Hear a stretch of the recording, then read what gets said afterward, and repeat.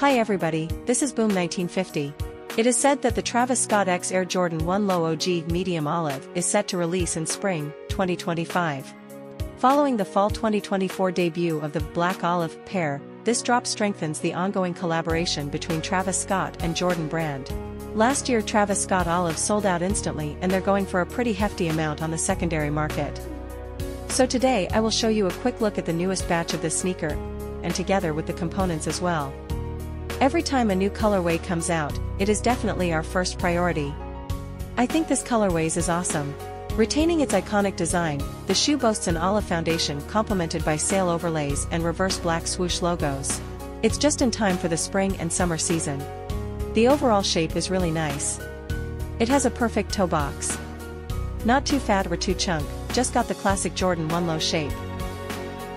This circle is a soft beige leather, very high quality, varies from those cheap leather. Cheap leather usually stiff and feels like some kind of plastic. This piece cut may be seen more intuitive. It's soft and finely textured.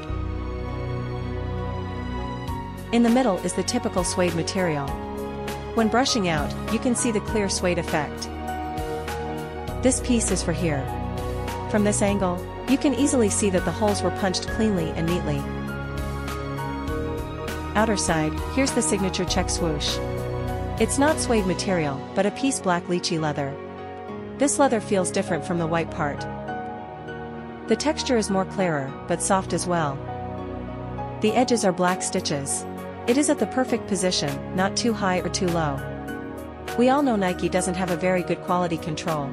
Sometimes the two sides can be asymmetrical, but you can see, these two are exactly the same. Inner side is also the black swoosh.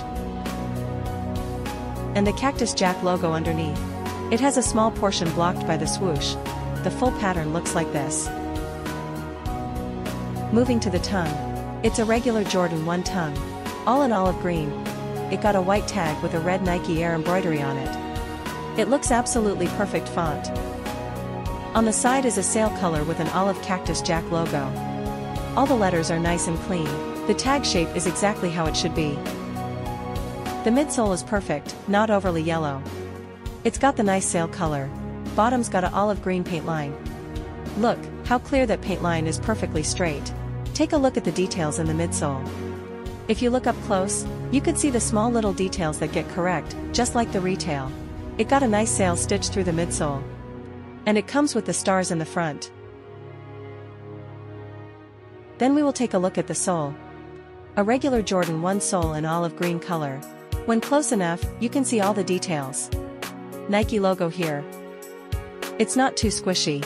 When pressing, it's not bending, which is exactly many people want.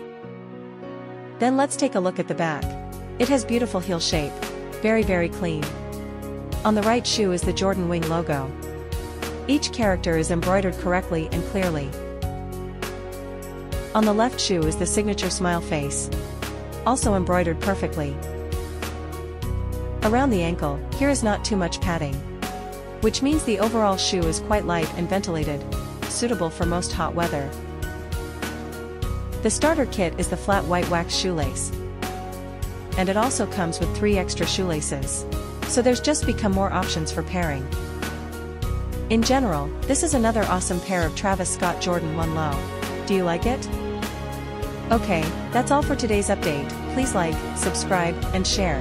Don't hesitate to leave me a comment if you have any interest. See you next time, bye.